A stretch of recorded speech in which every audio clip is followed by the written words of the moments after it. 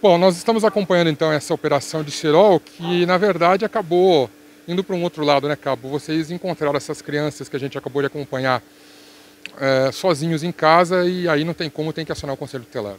É, infelizmente, né? Essa é uma realidade que a gente tem batalhado bastante na orientação é, dos responsáveis. A gente deparou com uma situação atípica.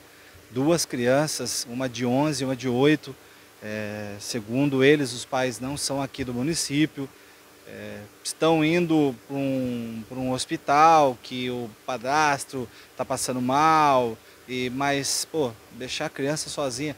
É, segundo eles falaram que a mãe falou que, ah, mas é porque não pode levar vocês, porque é por causa do Covid.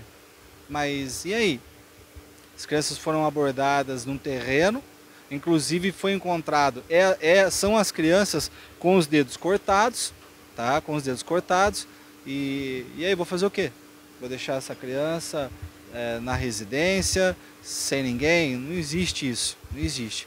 Então eu peço a gentileza para os pais redobrarem um pouquinho, né? Se não tiver condições, leva, leva a criança, deixa tá, a criança é, na entrada, vai ter segurança, vai ter, e o pessoal vai entender, mas não faz isso que aconteceu, sabe? É, já é a segunda situação é, que a gente deparou é, ontem no, no, outro bairro, é, duas crianças também se encontravam sozinhas enquanto a mãe estava trabalhando, e graças a Deus que nada, de, nada grave aconteceu, né? Deus é por nós, porque senão eu não imagino o que seria dessas crianças.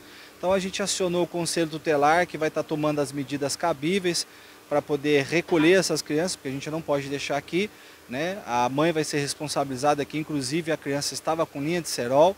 E essa é a realidade que a gente pede encarecidamente para todos os pais que estiverem assistindo o programa, vamos repensar um pouquinho o uso da linha do cerol, não deixar a criança sozinha em casa, porque é complicado, é triste essa realidade. E é bom até ressaltar a importância dos pais saberem que não pode deixar crianças sozinhas.